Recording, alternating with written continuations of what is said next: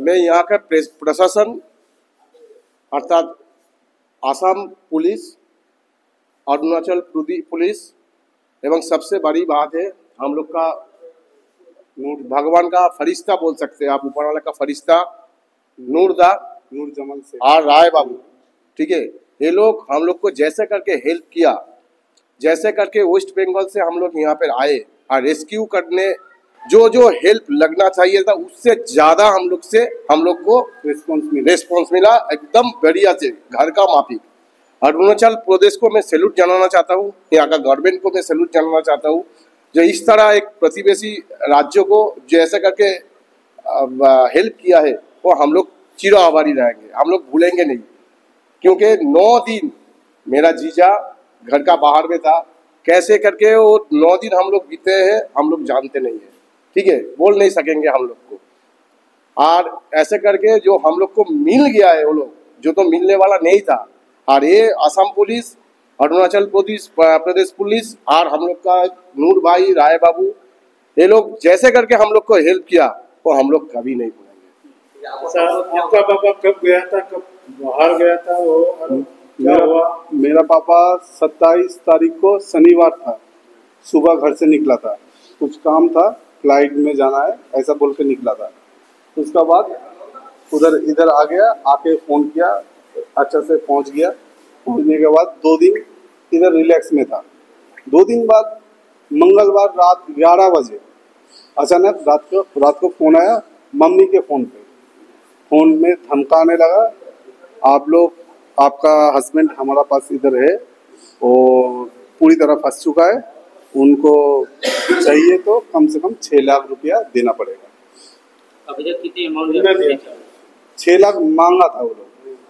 तब तो वो तो चौंक गए कि छः लाख खाए के लिए वो तो काम में गया पैसा क्यों मांगेगा? वो तो पैसा कमाने गया है तो पैसा देगा क्यों?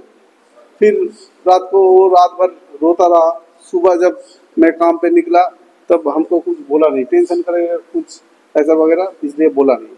जब मैं काम में गया, काम पे जाने के बाद मेरा बीवी फ़ोन किया मेरे को, साढ़े आठ बजे, सुबह साढ़े आठ बजे फ़ोन किया। फ़ोन करने के बाद वो बोला कि, मम्मी को ऐसा फ़ोन आया था, छः लाख पापा को भेजने के लिए, लाने के लिए छः लाख रुपया चाहिए तब मैं तुरंत पापा को फ़ोन लगाया। तब फ़ोन उठाया नहीं कुछ देर बाद पापा को फ़ोन किया। मैं उसको पूछा, क्या बात है? इधर छः लाख रुपया मांग रहा है माँ मम्मी रो रो रहा है। क्या मैटर है? तुम तो काम में गए हो। उसके बाद पापा ने बोला, मैं पूरी तरह फंस गया। हमारा वेस्ट बंगाल से और कुछ बंदा आने वाला था। उसको पैसा टिकट सब कुछ भेजा है। मगर वो लोग आया नहीं। इसलिए हम लोगों को इधर रोक के रख दिया। छः लाख रुपया मांग रहे हैं। छः लाख रुपया देगा तो सही है। वो लोग हमको छोड़ देगा और नहीं देने से हमको मार देगा। जब छह लाख रुपया मांगा था, उसका बाद कुछ पैसा दिया है कि इन लोगों का? अपना घर से कोई पैसा दिया नहीं।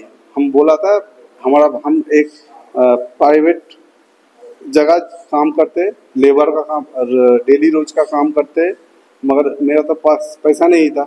इसलिए कैसे देगा? इसलिए उस उस दिन, इन लोग, इधर का जो लोग रोक के रखा रहे वो लोग से बात हुआ। वो लोग हमको डायरेक्ट बोला छः लाख दो, नहीं तो पापा को मार देंगे।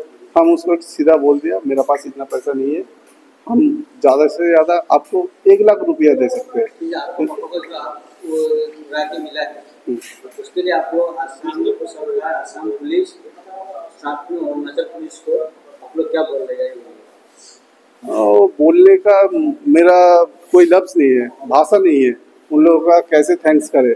फिर भी उधर जब सर लोग निकला हम उन उन लोगों का पैर छुके उन लोगों का आशीर्वाद लिया ऐसा काम करने के लिए। हमारा रूम खड़ा हो रहा है सोच के भी। ऐसा काम वो ऐसे ऑपरेशन करके रेस्क्यू किया उन लोगों ने। पूरा पूरा एकदम दोनों स्टेट का पुलिस एक संग जाके पूरा होटल को घेर लिया था। उसका बाद उधर जाने से ही एकदम होटल का पूरा लाइट बत्ती बंद हो गया था। बंद हो क्या होटल था नाम दीपिका होटल शायद ऐसा कुछ नाम था। रेणु रेणु रेणु का होटल ऐसा नाम था। होटल में जाने के संग संग लाइट बत्ती बंद हो गया। बंद होने के बाद मैं पापा को फ़ोन लगाया, तुम पुलिस आ गया, तुम जल्दी से निकलो, पुलिस के पास आ जाओ। मगर वो डर के मारे घबरा गया, क्या हुआ? इतना पुलिस आ गया, इतना वो हथियार लेके आ गया, क्या होगा, क्या हुआ?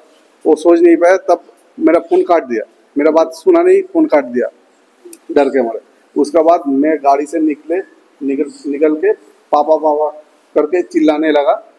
तब उसका बाद शायद पुलिस को पास वो लोग आ गए तब हमको सर लोग बोला तुम एक काम करो ऊपर जाओ. जब आपको का मालिक का नाम मालूम नहीं नहीं नहीं। नहीं हमको वो सब कुछ मालूम नहीं है।